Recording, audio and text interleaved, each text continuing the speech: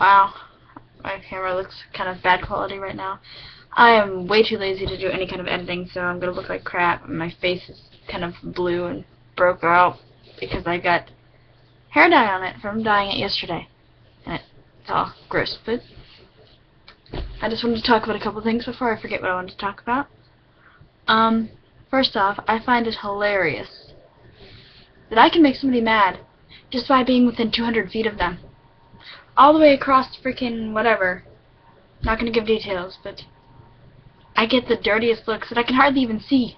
And I've got pretty good vision. Enough. Another thing I want to talk about. YouTube keeps giving me Spanish ads. Spanish.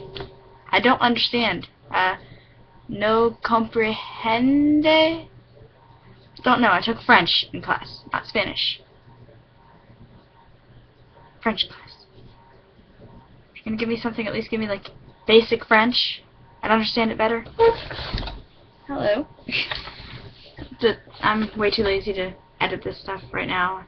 Even though I have good internet tomorrow. My internet's slow as um, if you don't pronounce it, then you can't get in trouble for having it.